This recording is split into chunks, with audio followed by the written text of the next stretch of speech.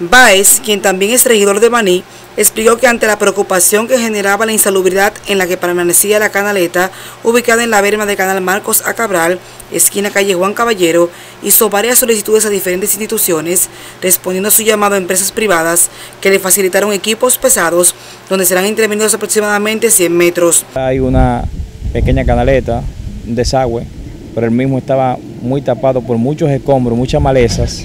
el cual no permitía que el agua fluyera. Se aposaba el agua, entonces vienen los mosquitos, el dengue. Ya los vecinos, los residentes en este sector estaban al grito, no podían más, por lo que nos hablaron del problema, inmediatamente buscamos la forma cómo resolver por el Estado, no se pudo lograr, así que acudimos a las empresas privadas y en este momento una retroexcavadora está haciendo el trabajo gracias a la empresa Agregado Manaclar que nos la facilitó y un camión que va a botar toda la maleza de la empresa AA, el cual para sacar la maleza, hacer un trabajo eh,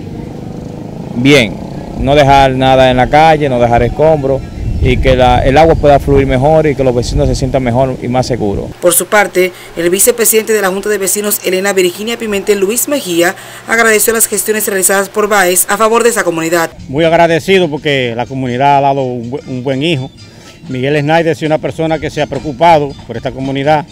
Eh, hoy en día, gracias a Dios y gracias a él, tenemos aquí equipo de agregado eh, Manacral y, y AA trabajando para para estas aguas negras que se posaban aquí, que era horrible esas aguas negras ahí. Entonces, gracias al regidor estamos haciendo esa labor hoy.